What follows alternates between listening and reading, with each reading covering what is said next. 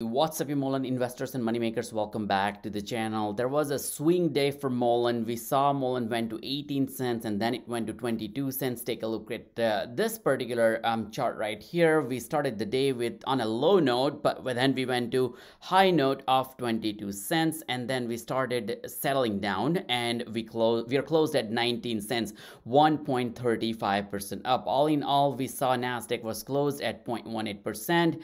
Dow Jones was closed at 0.62%. So it ended in green and Mullen is green. What happened today with Mullen? Number one, I wanted to tell you that the short sellers are still uh, pretty strong, 54.21% uh, short volume ratio. All in all, they returned the shares that we know. Um, also, the FINRA total volume 345 million with the short volume of 187 million. One thing that you want to know is they have filing. They have done the filing on July 10th, which was today. Um, the DEF 14A and other definitive proxy statement I want to quickly take you through that and I'll share some of the gist of it. You don't really need to go through this. This is a large document, but I'll tell you what you need to look out for. We'll also look into what Mullen is doing in terms of the buzz ratio and the participation ratio and the scoring on Stocktwits so you can get some of the idea around where Mullen is heading. The upcoming days might not be the best day for Mullen. It will be super volatile. It can go on the swing trade the high side in 20s and in low side close to 16 and we may see tomorrow what will happen because there there is some of the some of the fundamental news coming up in regards to their August 3rd meeting that I want to cover. Before I go ahead, I just want to tell you that if you can hit the like button, subscribe to the channel. That will be super super helpful. Turn on the notification bell because we are looking at some of the volatility in Mullen. And I'll tell you why. Because what Mullen is sharing right here is uh, basically they filed this uh, um, 14A def, other definitive proxy statement, and then we have seen the annual report uh, for the security holders as well. Um, in this particular uh, uh, proxy statement, what they have said is for the annual meeting of st stockholders to be held on August 3rd, 2023 at 9.30 a.m. PST or Pacific Daylight Time. Right now, they're still a Delaware corporation. They're moving to Maryland, as you already know. I covered in my previous video, but this proxy statement is furnished by Mullen Automotive in connection with the annual meeting for stockholder that is that is to be held on August 3rd, 2023. So you can expect to get some of the insights as to what the reverse stock split is going to look like on that date. Now also remember that before that we may not see the reverse stock split um, in Mullen because many of you asked me what is going to happen with the reverse stock split and when we can expect. I do not see uh, it is happening uh, anytime soon because they don't have deficiency notice from compliance deficiency notice from NASDAQ. At least uh, they did not announce it yet. They may or may not have it but they will have sufficient time. So you decide how you want to vote for it. You want Mullen to stay within NASDAQ. And if you do, we need to make sure that it goes above and beyond the $1 price point, okay? Now, the second thing is if it becomes OTC stock, there will be some sort of impact um, in terms of the, the, the transparency and the filing, so on and so forth. One of the big challenge that Mullen has at the moment is the trust issue. Right now, they announced this $25 million um, buyback program. And yes, we saw the spike, but then we started going downwards, right? So what happened was last week we went to 32 cents, but within 32 cents, after 32 cents, we quickly got back 30% down. So all in all, yes, we are still up 71%, but in grand scheme of things, if you think about year to date, we are down massively 97%. Now, what you want to think about when you see this proxy statement, number one, they have uh, they have announced uh, some of the number of shares common stock. Uh, they are listed down here. Common stock is 643 million as you can see right here. Number of vote one vote per share. So there will be uh, people will be exercising their vote rights and the, to decide what Mullen wants to do.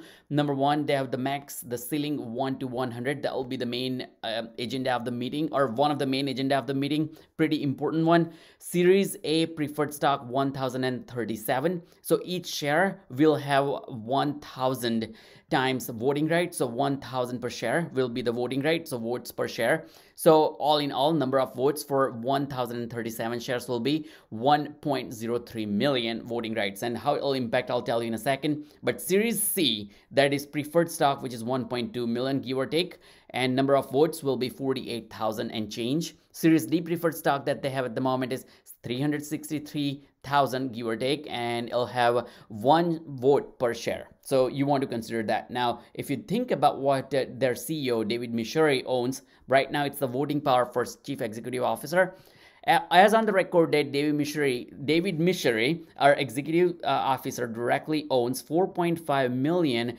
companies common 4.5 million stocks of companies common stock.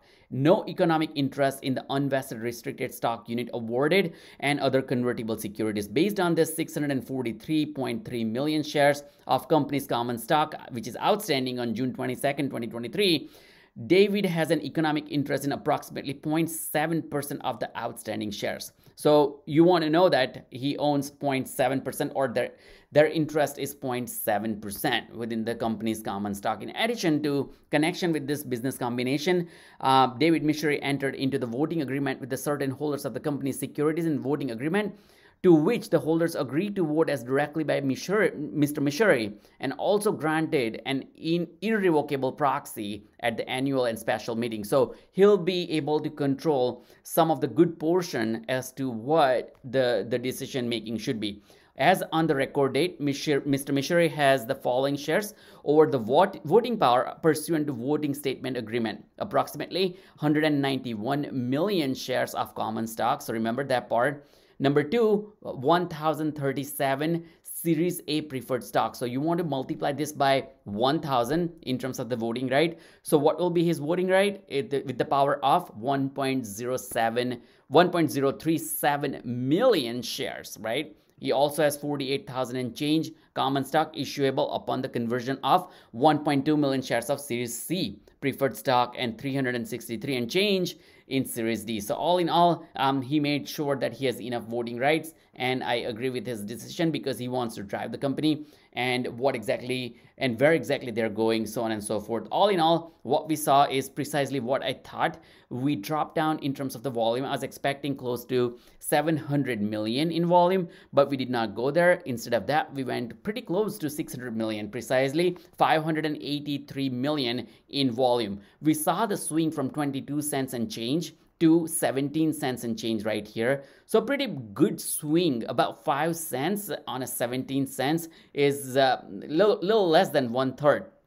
So you can think about like 30% swing all in all that we experienced today. We're closed at a little over 1940, uh, 19 or 1945. So yes, we closed above the price point that we saw yesterday. Um, so that's a good sign once again, but we may see some more volatility in terms of the buzz and sentiment. Let's take a look at Stocktwits. We are at 1945. We're slightly bullish in, in terms of the sentiment score, which is good to see. Uh, in terms of uh, 15 minutes ago, we're slightly bullish bullish. Uh, yesterday, we are slightly bearish. Of course, the price point, again, why we're slightly bullish is pretty negligible difference 19 1945 so the way the based on the algorithm that works out on Stocktwits you may see some uh, resistance in terms of uh, the sentiment score. By the way, message volume, again, slightly high. There's a ton going on, as I just mentioned to you, because they're holding this meeting on August 3rd. They have August 1st week, give or take. Don't quote me on that because I don't exactly know how it's going to work out, but they have August 1st week before they decide the reverse stock split. Now, you decide for yourself because many people have asked me questions.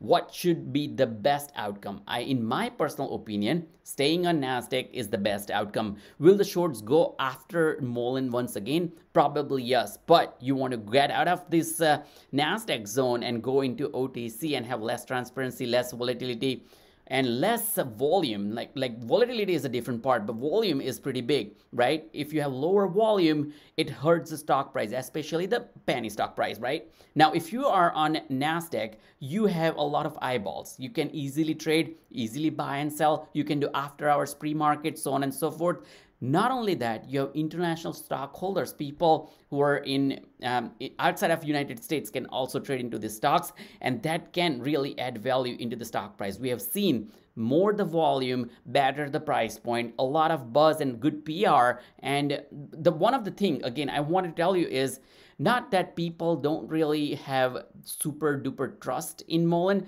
but if they deliver what they are telling us on time, that will be super, super impactful. In other words, let's say if they say they have 22 vehicle and 300 $300,000 revenue, it's okay. But when they say they have larger projection and they can sell A, B, and C, why do not we really see the revenue filing in, in the filing, right? We are looking for more and more revenue. And also they'll need to worry about what exactly they'll do to bring back the cash. Well, uh, uh, another thing I wanted to also mention to you is this part, like buyback program. Now, when they're telling us that they'll be buying back stocks for up to $25 million, I think, yes, it's a great news. They should be doing that. But all in all, they are not in stock buying or stock trading business. They are in building cars. Also, they are struggling with cash.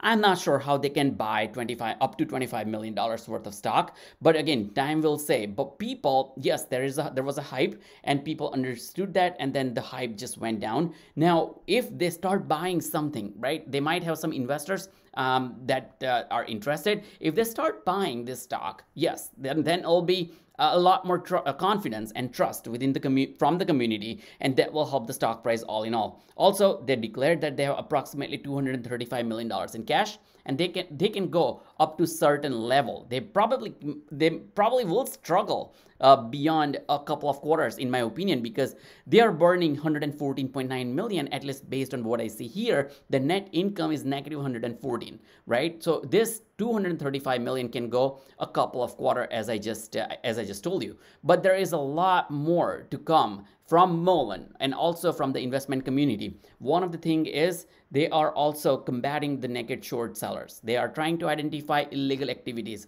market manipulation within the stock price. All this are positive news. A lot of positive news are coming up, including buyback program. Um, they are also looking to improve their um, short selling, whatever going on uh, in terms of the illegal activities, so on and so forth. So with all that, I wanted to tell you that there is a ton to come from Mullen. So watch out, stay tuned. I'll keep you posted. Thanks for watching. Do hit the like button, subscribe to the channel, and I'll see you in the next video. Thanks for watching.